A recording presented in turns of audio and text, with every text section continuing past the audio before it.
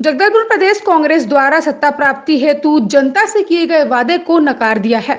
भूपेश सरकार द्वारा किए गए सभी वादे निराधार साबित हुए हैं। भोली भाली जनता को परेशान करने का काम भूपेश सरकार ने किया है।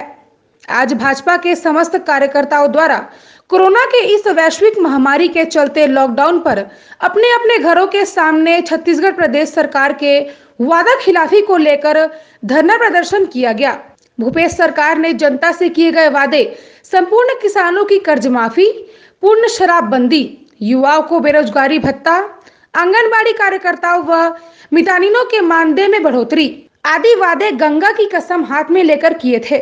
इन्हें पूरा करने के बजाय भूपेश सरकार ने कांग्रेसी नेतागढ़ पैसों की लालच में विषम परिस्थितियों में सभी नियम कायदों को धत्ता बता आमजन के जीवन को ही खतरे में डालते हुए शराब दुकानों को खोलकर कांग्रेस की जो सरकार व झूठी सरकार है, सामुदायिक दूरी को ही नष्ट कर कोरोना संक्रमण को आमंत्रित करने का कार्य कर रही है।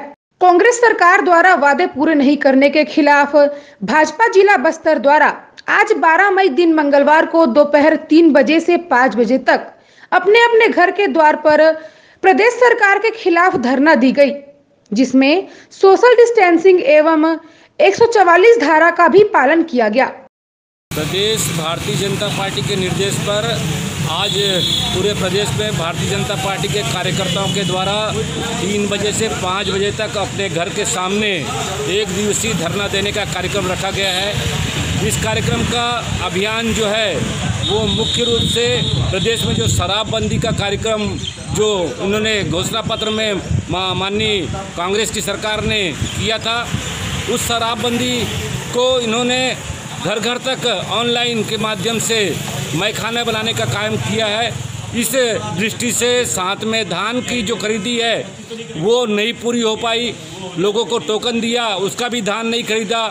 पच्चीस सौ रुपये की जो राशि बोले थे, उसमें जो छः सौ पच्चीस पचासी रुपये की राशि जो बैलेंस बची है, उसको भी अभी तक नहीं देने का काम किया है।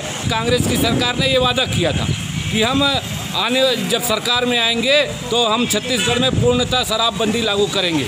इन्होंने गंगा जल लेकर ये वादा किया था। तो हमारी ये मुख्य मांगे हैं कि ये सब मांगे पूरी करे, कांग्रेस की सरकार अपना वादा निभाए।